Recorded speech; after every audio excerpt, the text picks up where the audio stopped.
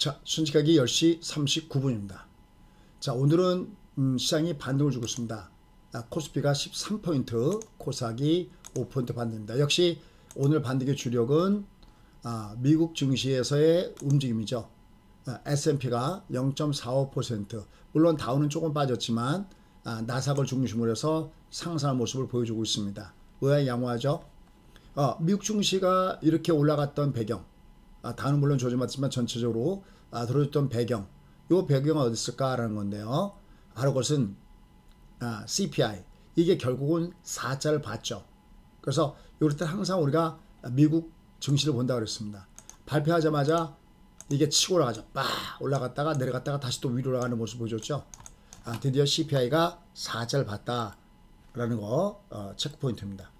더군다나 이제 다음 달에는 음, 더욱더 더 이 CPI가 더 내려갈 가능성이 더욱더 증가가 되고 있습니다. 일단은 예상치보다 뭐 그렇게 큰 폭으로 내려간 건 아니지만 심정의 선이 5콤마에서 4콤마 4절 봤다라는 부분입니다.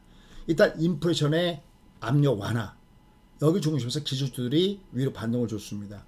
2년 만에 가장 낮은 수준이죠. 아, 그래서 인플레이션 다소 완화되는 모습 4.9를 찍었는데 월스턴을해서 예상한 것은 5.0 그리고 이것이 2021년 4월 이후에 가장 낮은 수준이라는 거기 때문에 이 부분들이 내려가고 있다. 물론 여지 부채 한도 협상을 둘러싼 아, 잡음은 계속되고 있습니다. 조 바이든 대통령, 그 다음에 메카시 하원 의장 아, 양쪽이 부딪히고 있는데요.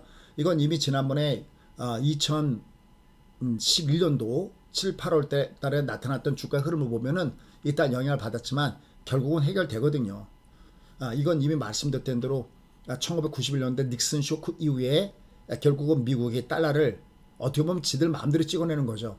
다만 그것에 캡을 씌운 것이 바로 의회에서 한도를 정해놓는데 지금도 무려 31조 4천억 달러의 빚을 지고 있다라는 측면은 어마어마한 겁니다.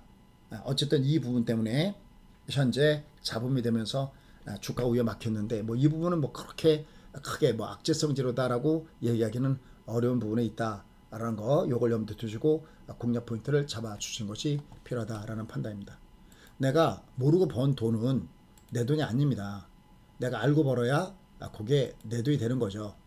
그죠? 그래서 그런 부분들을 체크하시면서 여러분들은 매매 전략 체크에 안전적인 매매, 음, 방어적인 매매, 예, 요 부분을 어, 다만 전체적으로는 조심스럽게 접근해 가는 것이 필요하다라고 여러분들이 접근하시면 좋을 것 같습니다.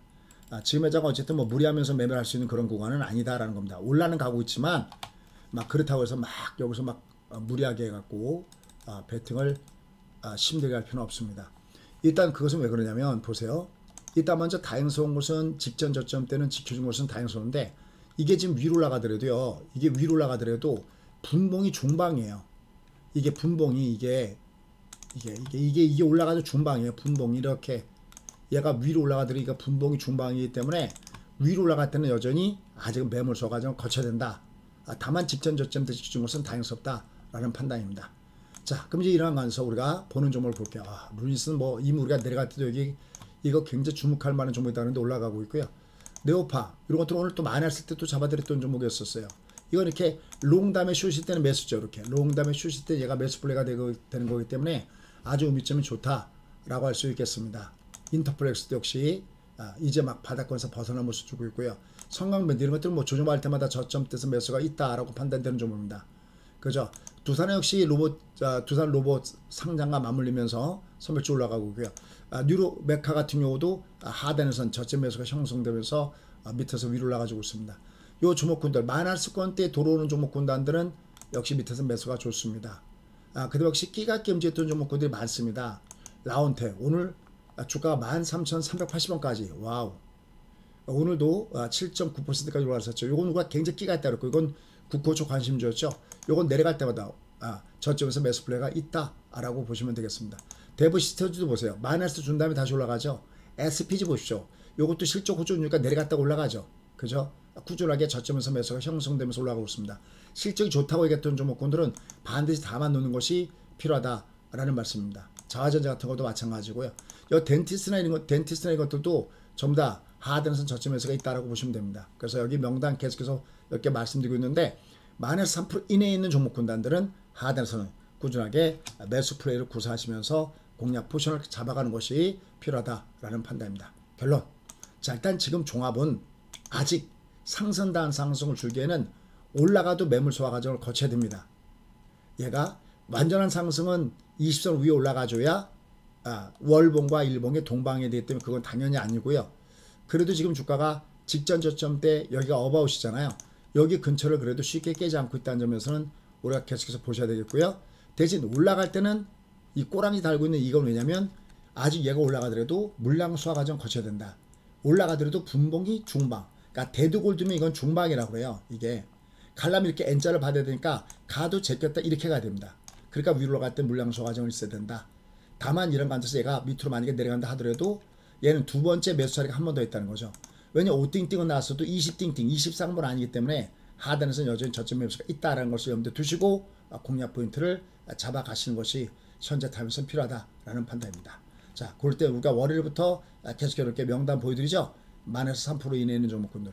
오늘도 얘도 올라가는 종목도 보면 보세요. 여기 이렇게 보시면 이렇게 이 마이너스에서 이렇게 올라가는 종 많잖아요. 이거 다. 이거요. 줍줍이죠, 줍줍. 아, 이 저희가 아침에 저희 회원님들한테 뿌려드렸던 종목군들입니다.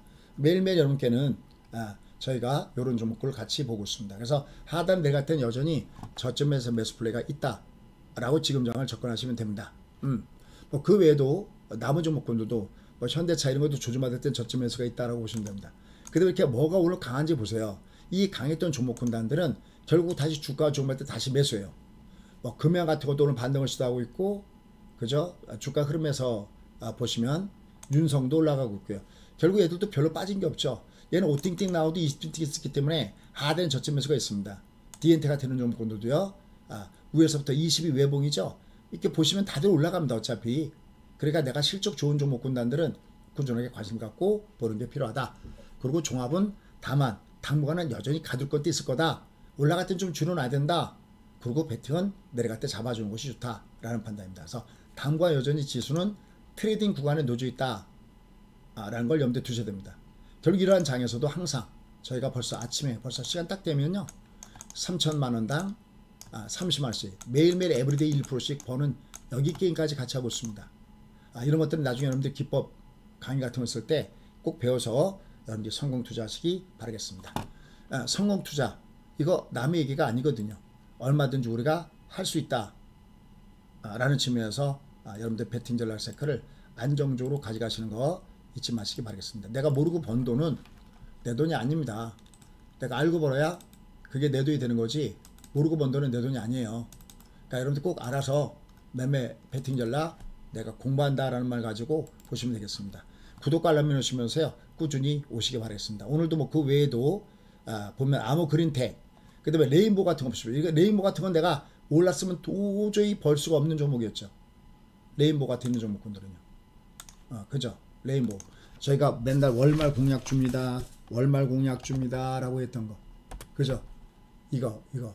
이거 조정받아봤자 이거 외봉이 때문에 떼야 된다 그랬는데 오늘도 요, 오늘도 뭐 이게 몇 프로입니까? 지금도 한 5% 이상 올라가고 있네요. 그죠? SPG도 SPG도 이거 월말 공약 주였죠. 외봉이니까. SPG. 이거. 그죠? 어떠세요? 꾸준하게 저점에서 매수가 형성되면서 밑에서부터 위로 올라가고 있습니다. 결국 실적 좋은 종목군들이기 때문에 저렇게 저런 베팅을 쓸 수 있다. 아, 라는 거 요걸 염두에 두시고 여러분들은 여전히 공략 포인트를 잡아가시면 좋을 것 같습니다. 실적 좋은 종목군들. 다만 지금 장이 연속성이 없어요. 그러니까 얘도 실적 좋은데 올라갔다 어제도 밀리고 오늘도 밀리잖아. 그럼 이건 매수입니다. 이런 거 만에서는 줍줍이죠, 줍줍. 아, 뭐 자아전자처럼 것들도. 루니 또 이것도 실적 호좀 때문에 올라가잖아요. 이게 내려갔을 때. 그죠? 그래서 여전히 종목 장세 계속해서 된다. 여기 핀테코리아도 실적 좋은데 어제 올라갔다 오늘 조정했잖아요. 연속성이 없어요. 하지만 밑으로 갈 때는 저가 그때 매수 플레이가 있다. 라는 거 염두에 두시고요. 명당하고 꼭 하시기 바라겠습니다. 고맙습니다.